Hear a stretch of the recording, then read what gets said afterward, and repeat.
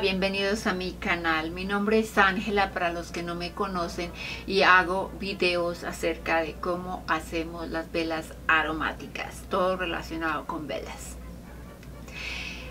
El video de hoy es, I don't know, súper importante y que a veces a mí también me pone a veces en duda este tema del volumen, el tema del peso, el tema de, los recipientes, etcétera.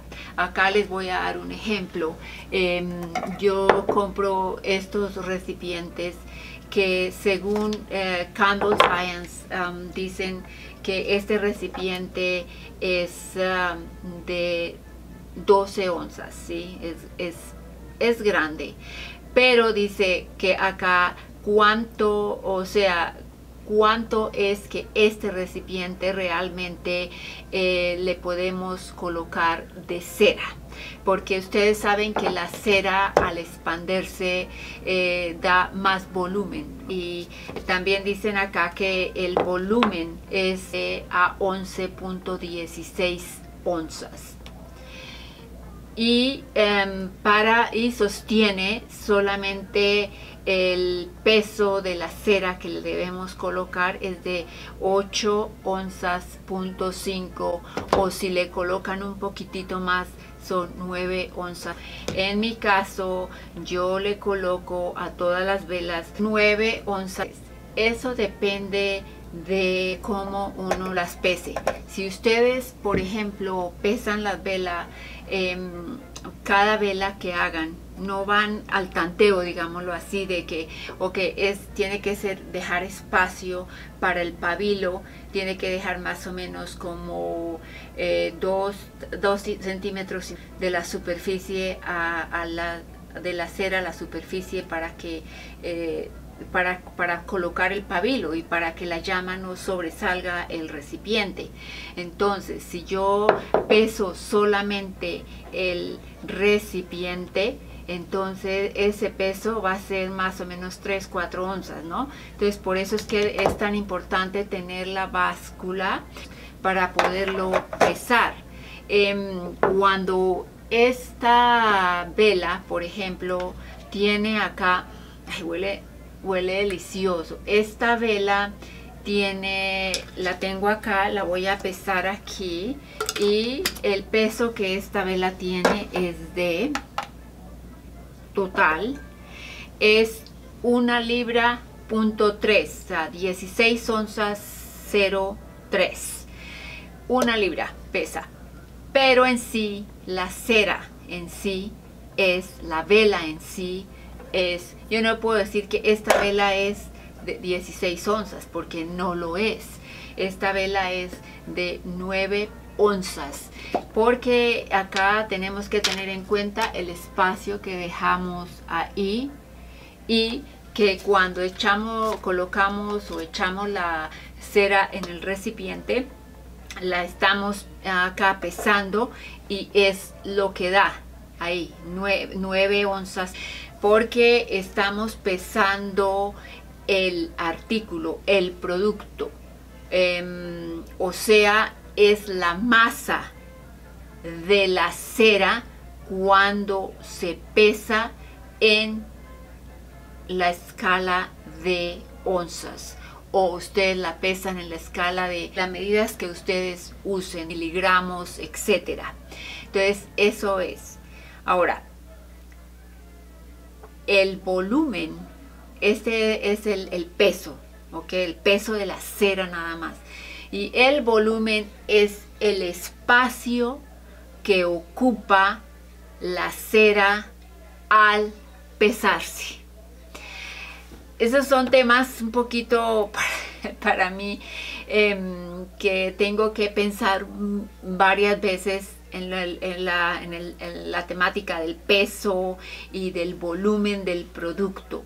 Pero acá en sí lo que estamos eh, pesando es el volumen de la cera en sí. ¿ok?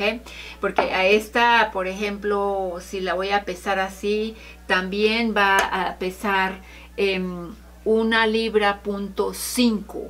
esta pesa una libra punto cinco con el agua que he colocado acá.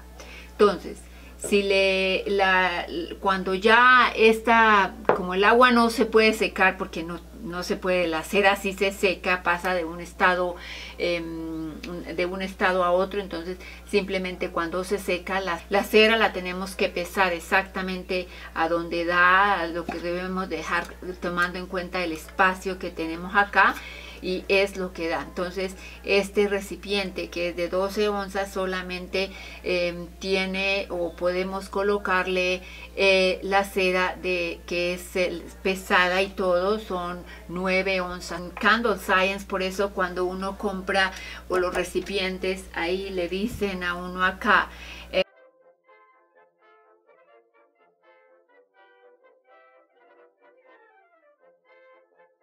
how much wax will it holds. Um, uh, the wax weight to fill on the line donde debemos llenarla es de 8.5. Yo coloco un poquito más. Um, y el volumen de este, el volumen que da todo el recipiente y la cera es de 11.16 eh, onzas. Pero la cera en sí, sola la cera, sola la cera es eh, en 8.5 o hasta 9, depende cuánto la llenen, pero no la debemos llenar mucho porque hay que dejar el espacio para el pabilo.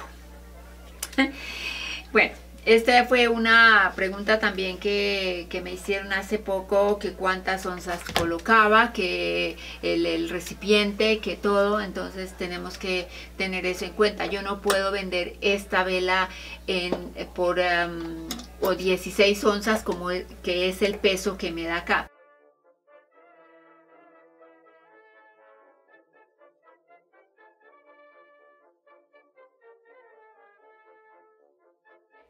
Entonces esa es la diferencia del volumen y del, y del peso. Em, espero haber sido clara en este video y que le haya podido contestar las preguntas a las, a las personas que me lo han hecho. Em, quiero también agradecer a todas, todas las preguntas, las inquietudes, las dudas, todo lo que me escriben.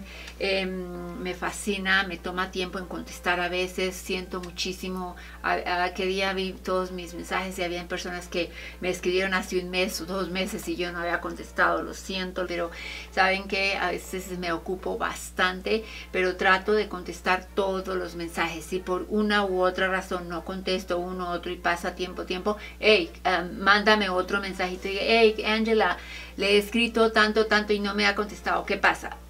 No, eso no, eso al contrario, me, hace mm, feliz de que estén pendientes de mi respuesta y lo siento, a veces no las paso, no sé por qué, I don't know. En todo caso, em, gracias, gracias por su tiempo, gracias por apoyarme y esto para mí es muy chévere hacerlo y compartirlo con todos ustedes.